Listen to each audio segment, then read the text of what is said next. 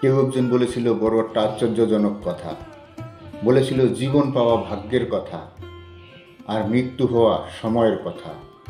আর মৃত্যুর পরেও মানুষের মনে বেঁচে থাকা কর্মের কথা। হাই গাইস, আমি জি জিকে বিকেম আজ শোনাব ছোট্ট একটা গল্প। এই গল্পটা একজন ডাক্তারবাবুর।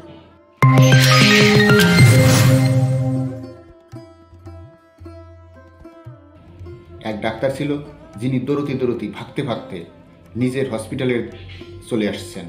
এসে যে অপারেশন করার যে রুম হয়, সেই রুমের দিকে উনি যাচ্ছিলেন। হঠাৎ ওনারে চার পাঁচজন লোক ঘিরে ধরে বিভিন্ন রকম কথা বলছে হ্যাঁ ডাক্তারবাবু, আপনি এত লেটে আসছে আমরা কখন থেকে আপনার জন্য অপেক্ষা করে বসে আছি? হ্যাঁ ইন্তজার করতে করতে আমরা হয়রান হয়ে গেছি। আর এখন আপনি এসছেন।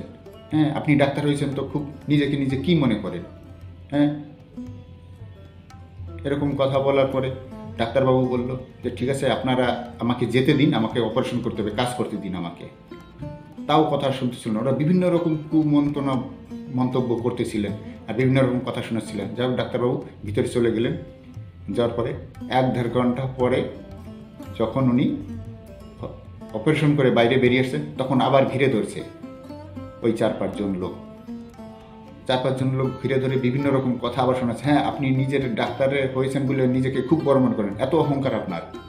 হ্যাঁ এত দম্ভ। আজকে যদি আপনার নিজের ছেলেটা হতো, এই হসপিটালে ভর্তি হতো আর তাকে যদি অপারেশন করাতে হতো, তাহলে পারতেন আপনি এরকম করতে? পারতেন না। তো ডাক্তারবাবু চুপচাপ রয়েছে, কিছু রিয়াক্ট করছে না। তাও কথা বলতেছে যে, কেমন আছে আমার ছেলে? ই কখন ওকে ডিসচার্জ করবেন এই ধরনের কথা আরও বলতেছিল। তখন বলছে কি নার্স বলবে, আমাকে যেতে দিন। এই বলে ডাক্তার ওখান থেকে বেরিয়ে গেল। তখন কিছুক্ষণ পরেই নার্স আবার বেরিয়ে এসছে। এবার নার্স বলছে কি, আপনার ছেলেকে কখন ছাড়বো এইসব ব্যাপারে কথা বলতেছে। বলে কি, না না ওই সব কথা ছাড়ুন আগে বলুন এই ডাক্তারকে। ডাক্তার এত বদমাস কেন?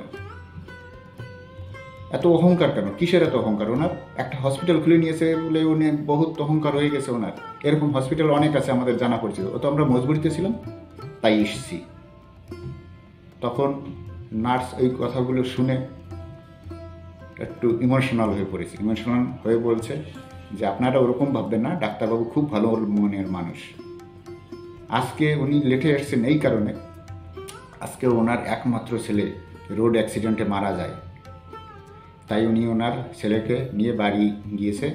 সেখানে যে ফরমালিটিগুলো থাকে, সেগুলো করছিলেন। তো আজকে আপনার ছেলে হসপিটালে ভর্তি রয়েছে, অপারেশন করতে হবে। তো আমি নার্স হিসাবে আমার দায়িত্বের মধ্যে পড়ে যে ডাক্তারবাবুকে একবার জানানো। কিন্তু এই মুহূর্তে ডাক্তারবাবুকে জানানোটা উচিত ছিল না। তবু আমার ফার্স্ট মনে করে আমি ওনাকে জানিয়েছি। তখন উনি বললেন, ঠিক আছে ঠিক আছে, আমি এক্ষুনি আসছি। উনি একটু দেরি করেননি, সঙ্গে সঙ্গে দৌড়াতে দৌড়াতে চলে আসছেন। অপারেশন করে বেরিয়ে আসছেন। আর এখন দেখুন সন্ধ্যা হয়ে গেছে। এখন উনি আবার আগের থেকে হয়তো আরও স্পিডে উনি বেরিয়ে গেছেন। কেন গেছেন জানেন? কারণ সন্ধ্যা হয়ে গেছে। এখন গিয়ে ওনার ছেলের সৎ কাজ করতে হবে, তাই উনি বেরোয় গেছেন। তো যাই হোক, ছোট্ট একটা গল্প। গল্পটার ভিতর দিয়ে আমরা এইটুকু বুঝি যে কখনো কোনো মানুষকে না বুঝে, না জেনে, তাকে কুমন্তব্য করা, তাকে যা কিছু বলা, অপমান করা, কুব্যবহার করা উচিত না আমাদের। তাই আমরা না জেনে, না বুঝে, না শুনে শরীরের কথা শুনতে থাকি টিপ্পণী শুনতে থাকি, গঞ্জনা দিতে থাকি, বঞ্চনা দিতে থাকি, আগে তার সম্বন্ধে জানতে হবে, বুঝতে হবে, তারপরে তাকে কিছু বলা চাই। না জেনে আমরা সব কিছু বলতে থাকি হ্যাঁ। তাই বলি যে ভালো কাজ করো, ভালো কথা বলো, ভালো ব্যবহার করো, মানুষের ভালো করো। আমি জিকে বিকেএম, চলুন তাহলে শুরু করা যাক আজকে আমাদের কুইজ। বিজ্ঞানের জনক কে?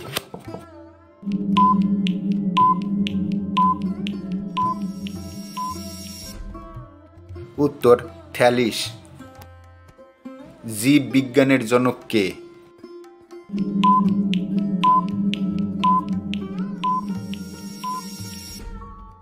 উত্তর, অ্যারিস্টটল। প্রাণী বিজ্ঞানের জনক কে?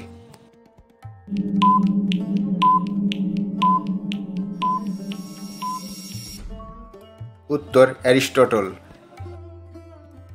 রসায়ন বিজ্ঞানের জনক কে?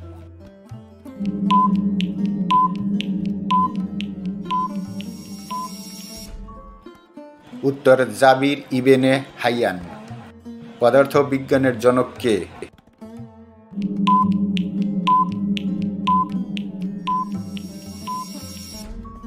উত্তর আইজাক নিউটন। রাষ্ট্রবিজ্ঞানের জনক কে?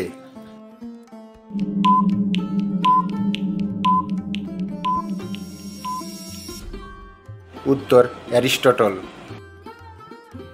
তো বন্ধুরা কেমন লাগল আজকের এপিসোড যদি একটু ভালো লাগে, আপনার যদি একটু উপকারে এসে থাকে, তাহলে ভিডিওটাকে একটা লাইক করবেন।